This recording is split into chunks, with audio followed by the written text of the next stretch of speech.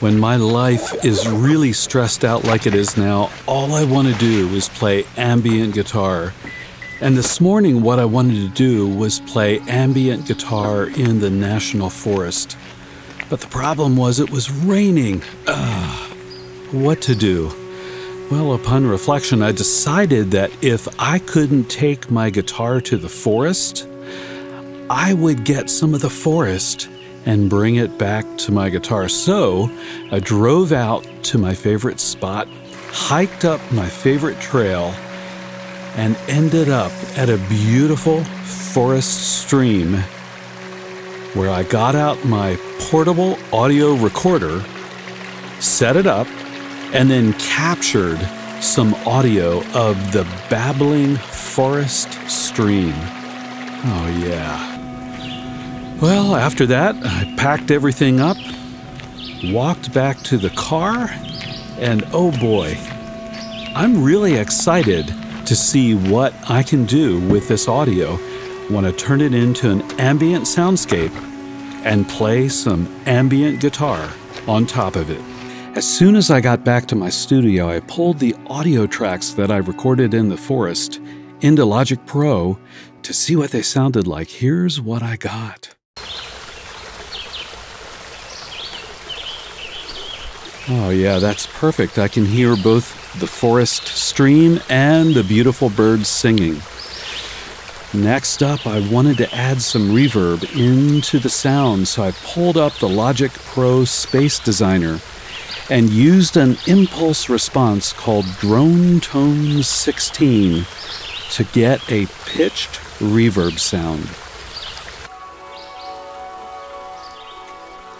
Yeah, that's really nice.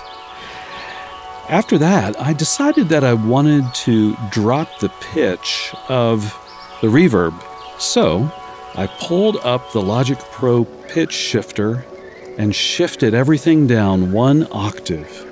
Next up, I decided that the sound was just a little too muddy, so I pulled up the Logic channel equalizer and just scooped out a little bit of the low mids just to clean things up a little bit. Next, I decided I needed another reverb tone, so I brought up my favorite reverb plugin that's free, the Valhalla Super Massive, and pulled up the Dark Matter preset, and here's what I got.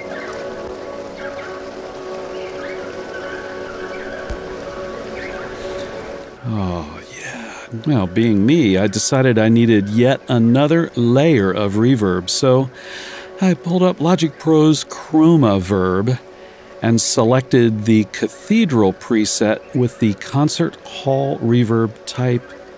Here's what I got. Oh, that's beautiful. It just smooths everything out. At this point, I was ready to begin laying down the ambient guitar track.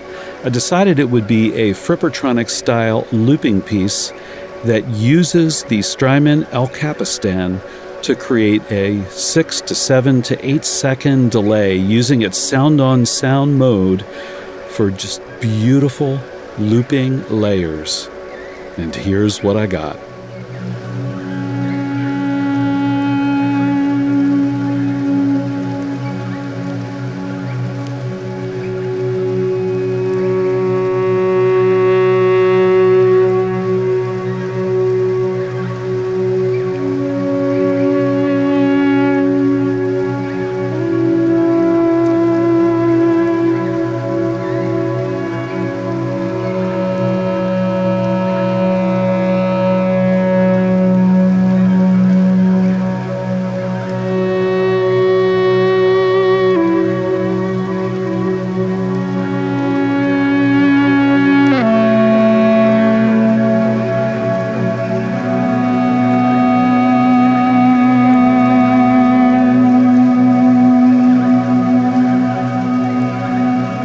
That felt so good to take the audio of that stream and turn it into an ambient guitar meditation.